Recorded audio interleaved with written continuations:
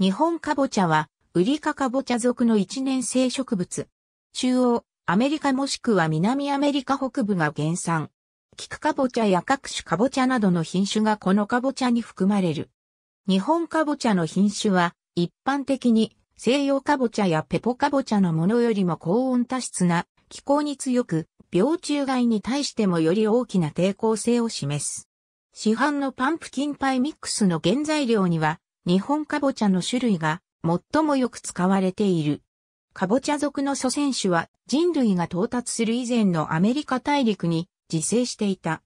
進化的に言えば、かぼちゃ属内で遺伝学的に孤立している種がなく、この属の起源は比較的最近である。日本かぼちゃは属内の遺伝学的な橋渡しとなり、かぼちゃ属の祖先に最も近い。日本かぼちゃは種カカービタモスコッタに与えられた和名である。しかし、日本の市場におけるかぼちゃのほとんどは、西洋かぼちゃシーマキシマの日本品種である栗、かぼちゃであり、日本かぼちゃとは別種である。日本国外で、ジャパニーズパンプキンや、かぼちゃと呼ばれるかぼちゃも、主に栗かぼちゃであり、日本かぼちゃではない。ありがとうございます。